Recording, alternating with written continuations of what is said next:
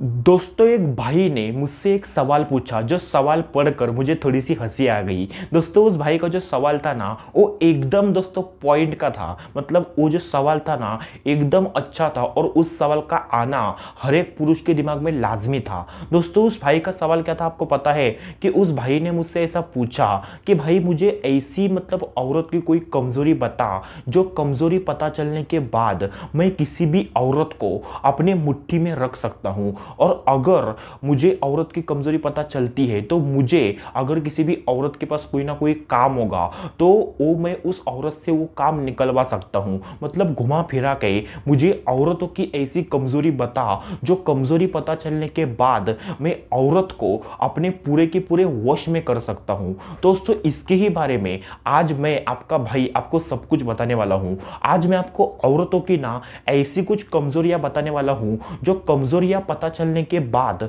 आप किसी भी औरत को, वो चाहे कितनी भी सुंदर हो या फिर वो चाहे कितनी भी दिखने में बेकार हो, आप किसी भी औरत को मतलब छोटी, मोटी, गोरी कोई भी हो, आप उसको अपने वश में कर सकते हो। और आपका अगर किसी भी औरत के पास कोई ना कोई काम होगा तो आप उस काम को उससे एकदम अच्छी तरीके से निकलवा सकते हो। दोस्तों, आज का वीडियो बहुत ही ज़्यादा इंपॉर्टेंट है। तो वीडियो को दोस्तों पूरा देखें, क्योंकि आज का वीडियो आधा अधूरा देखना आपके लिए बहुत ज़्यादा दोस्तों बेकार हो सकता है, क्योंकि आज का वीडियो बहुत ही ज़्यादा इंपॉर्टेंट है। तो चलिए शुरू करते हैं आज की इस वीडियो को।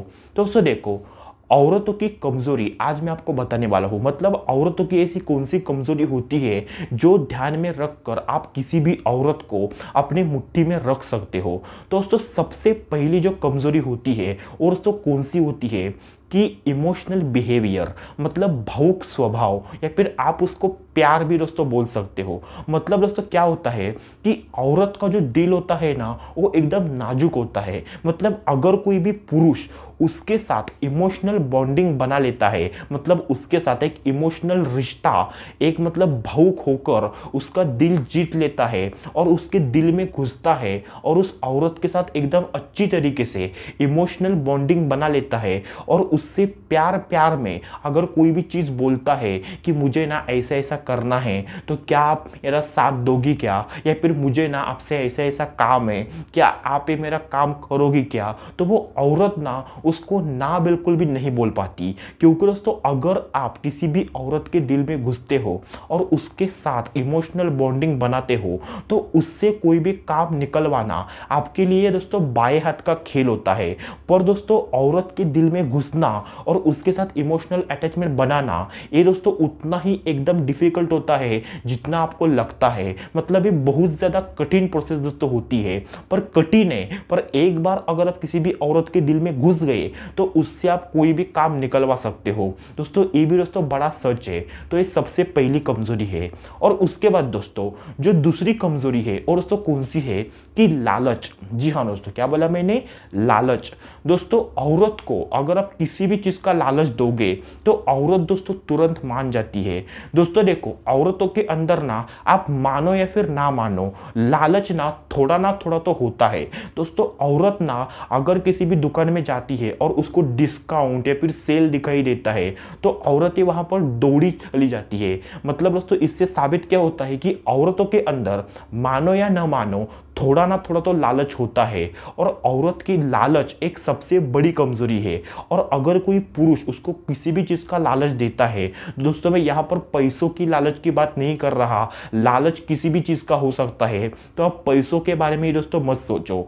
औरत को कोई भी पुरुष अगर किसी भी चीज़ का लालच देता है कि अगर तुम मेरा ऐसा काम करोगी तो मैं तुम्हें ऐसी वस्तु दूँगा या फिर मैं तुम्हें ऐसी चीज़ दूँगा तो इसके बदले में तुमको वो चीज़ दूँगा। तो औरत को ये लालच देखकर औरत उस पुरुष का काम ज़्यादातर कर देती है, क्योंकि औरत के अंदर थोड़ा बहुत लालच दोस्तों होता है तो ये दूसरी कमज़ोरी है। उसके बाद दोस्तों, जो तीसरे प्रकार की कमज़ोरी है और दोस्तों कौन सी है, जो एकदम लास्ट है और दोस्तों डर, जी हाँ दोस्तों, क्या बोला मैंने?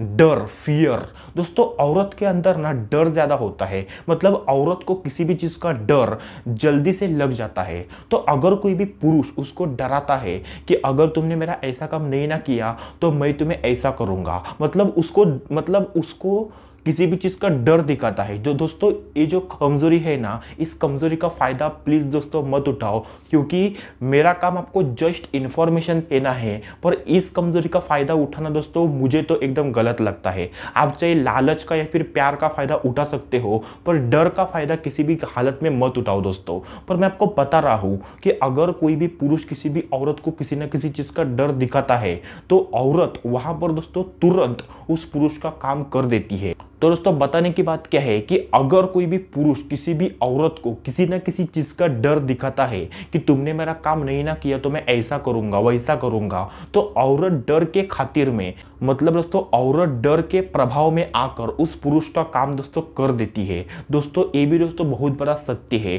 तो दोस्तों, जो मैंने यहाँ पर आपको तीन कमज़ोरी बताई मतलब प्यार, लालच और डर, ये दोस्तों तीन कमज़ोरी औरतों की सबसे बड़ी कमज़ोरी दोस्तों मानी जाती है। और दोस्तों, किसी भी पुरुष को ये औरतों की तीन कमज़ोरी पता चल गई तो वो किसी भी औरत को अपने मुट्ठी में कर सकता है, अपने वश में कर सकता है। तो बस आज की इस वीडियो में इतना ही। मिलते हैं अगले वीडियो में। तब तक के लिए धन्यवाद।